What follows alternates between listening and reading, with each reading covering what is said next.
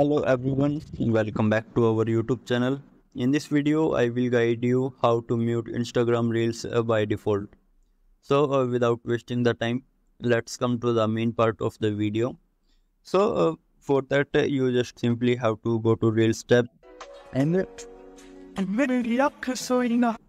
you will find that uh, the option is missing from the top right corner of the mute button.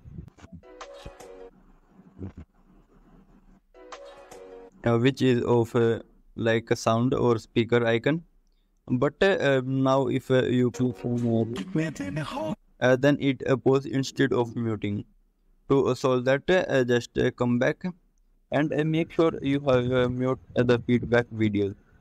After you mute them and play the reels then you will see that the reels or the voice of the reels are not coming.